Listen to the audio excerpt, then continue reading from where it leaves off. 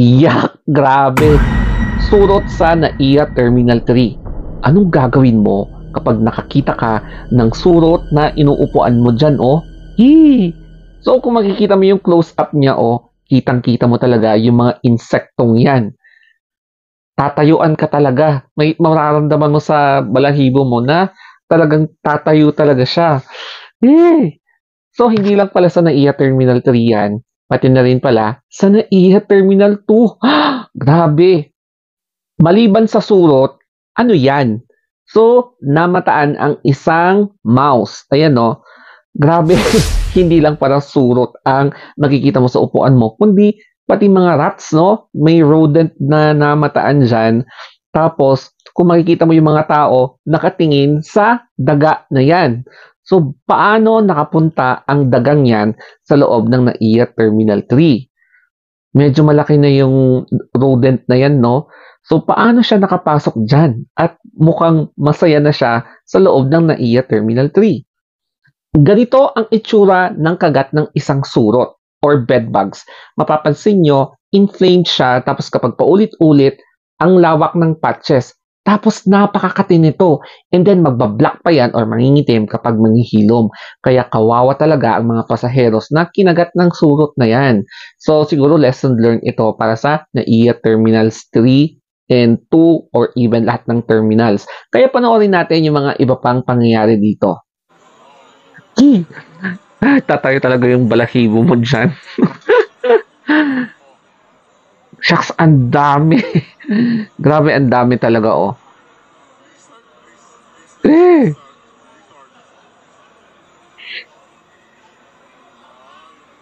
So, imagine, Walang kaalam-alam ang mga ibang nakaupo dyan na ang daming surot sa ilalim ng inuupuan nila.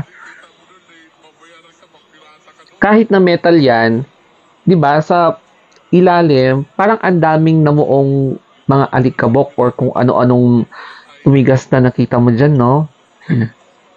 parang hindi talaga nililinisan malaking lesson talaga ito para sa NAIA terminals. Hindi lang 3, hindi lang 2, pati sa domestic, pati sa 1, at iba pang mga domestic airports.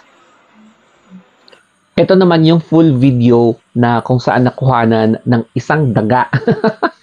Grabe no, hindi lang mga surot, kundi pati isang daga na nandoon naglalaro or nag-explore o di ba? Hindi lang kayo ang may karapatang maglamyada, pati rin si Remy. so, ang tanong, bakit nandyan si Remy? Uh, ang dami nagulat, no? So, imbis na nagiintay yung mga pasaheros o kaya yung mga watchers, so nagulantang sila sa itsura ng uh, daga na yan na paikot-ikot lang. I'm not sure kung pa ganun-ganun lang siya. So, ang nakakapagtaka, paano siya nakarating dyan? So, uh, I'm not sure kung na-monitor ba talaga yung mga ganyang klase or talagang, syempre, tao lang naman tayo, kahit na gaano tayo kal- kalinis, kung mata- matalino ang matching, talagang nalulusutan talaga. Ayan, no? So, nakakawindang talaga kapag makakita ka ng daga sa isang airport. Agad namang inaksyonan ito ng NAIA at kung nakita nyo naman, talagang nilinisan nila, inalis nila yung mga affected na seats para ma-disinfect, para ma- matanggal yung mga surot, no? Kahit na sabihin mong metal siya, pero kapag hindi talaga yan nalilinisan, pamamahayan talaga yan ng insekto. So, grabe talaga no ang perwisyong dinulot niyan, especially sa mga nakagat ng mga pasaheros. Pero at least no, nilinisan nila. And syempre, let us not only blame yung mga um, pamuntuan, kundi yung side B sa lesson na ito ay syempre hindi rin natin maiwasan na may mga nagdala ng mga ibang pasaheros ng mga bed bugs galing sa kanilang mga maleta, no? Kasi minsan, hindi, hindi rin nililinisan yung mga maleta. Kaya baka pwede na na-transfer from that particular dirty maleta hanggang sa kung saan-saan, including yung mga upuan. I believe may karapatan po tayo mag-comment kasi nga in the first place taxpayer po tayo. Kaya may ambag po tayo. Pero syempre, ayoko maging OA sa pag-react. It's because, syempre, um, naiintindihan naman natin yung mga workers na pagod, lalo na sa NAIA airport na uh, all year shift yan. I think uh, rotational duty yan, like 7 to 3, 3, 11, 11, 7. So, pagod yung mga workers na nandyan. Kasi nga, di ba, 24 hours yung mga flights dyan. Walang, walang, hindi katulad sa mga office na uwian na after 5 o'clock sa hapon, tapos umaga ulit, ganon, hindi. Parang pinag-workan ko din sa hospital na ganyan din. round the clock yung mga shifting. Tapos shifting schedule. Kaya hindi mo ma-blame minsan yung mga workers na pagod, yung mga ganun, hagardo versosa sila. So, syempre, yung diwa, uh, hindi, mas, hindi na masyadong gumagana kapag pagod ka talaga. Pero naiintindihan naman natin yung mga nagreklamo, especially sa mga nakagat ng surot na talagang it's a liability ng pamunuan na dapat talagang bigyan nila ng medical attention. However, kapag nakalipad na yung patient, so considered patient na siya, wala na. Kasi syempre meron kang flight na na hinahabol tapos magpapa ano ka pa uh, magpapaka alam mo yon medical attention ka in which hindi naman siya life threatening um, pero depende naman sa case. Baka hopefully hindi carrier ng disease yung mga surot no So, I'm not sure kung ano nang nangyari sa nakagat na patient na yan.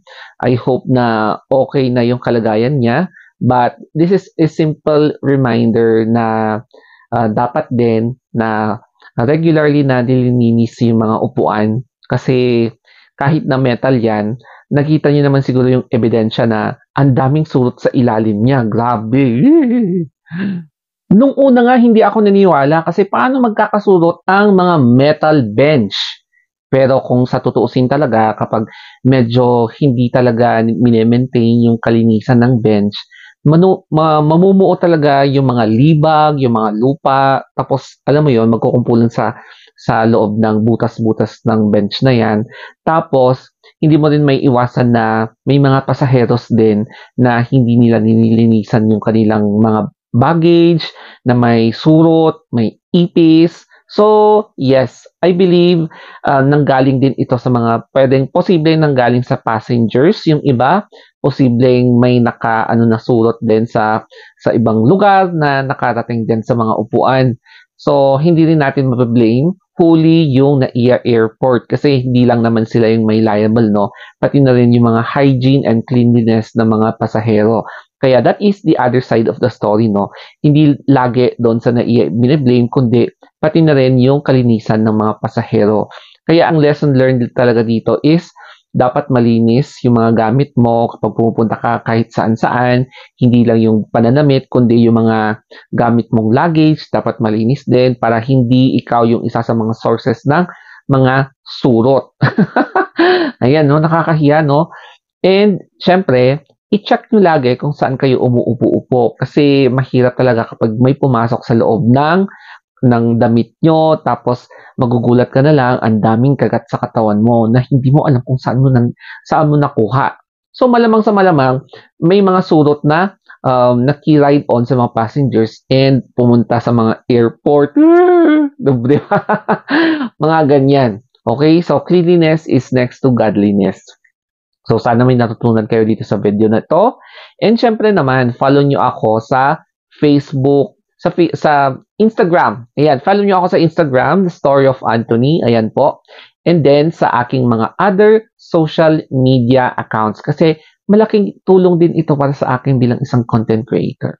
Okay, so thank you guys. Have a nice day and be always clean. Mwah!